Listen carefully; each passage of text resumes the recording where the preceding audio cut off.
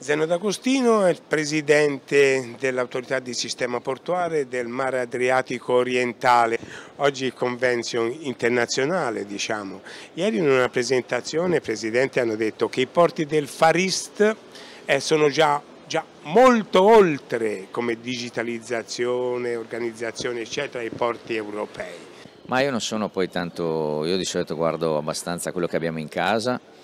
mi sembra che alcuni porti in Italia abbiano dei processi di digitalizzazione molto avanzato, poi va sempre chiarito che noi facciamo mestieri diversi da quelli che fanno i porti del Far East piuttosto che i porti del nord Europa, vedevo anche a Trieste recentemente Rotterdam che presentava alcune soluzioni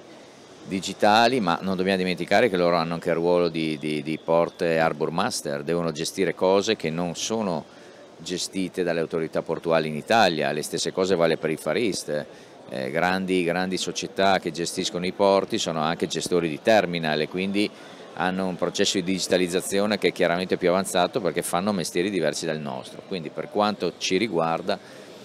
Port Community System che è fondamentalmente lo strumento utile per gestire le attività specifiche di un porto e che viene di solito organizzato, coordinato e gestito da autorità portuali, in alcuni casi in Italia mi sembra molto avanzato, quindi in questo caso mi permetto di dire che siamo un po' più bravi di quello che sembra. Senta Presidente, i giovani, perché si fa molto riferimento anche a loro, il lavoro del futuro ce l'hanno assicurato oppure c'è qualche problema? Insomma, mi sembra evidente che c'è qualche problema, perché altrimenti non avremmo anche oggi qui delle persone che sono qui a dimostrare tema vero, a prescindere da giovani o vecchi, è che bisogna capire che è il lavoro che è fondamentale, porre il lavoro al centro delle politiche è la questione fondamentale, non sono i traffici l'obiettivo di un porto, i traffici sono uno strumento che deve portare occupazione, lavoro e creazione del valore. Questa non è una cosa banale, eh, è una rivoluzione anche culturale di chi gestisce i porti e mi permetto di dire che soprattutto in un momento in cui c'è un pericolo, no? o perlomeno si, si, si, sente un pericolo a livello geopolitico globale, noi dovremmo capire che nell'affrontare il tema del lavoro dovremmo guardare al lavoro come un elemento di forza che ci permette anche di essere forti in un momento in cui il mondo si sta chiudendo.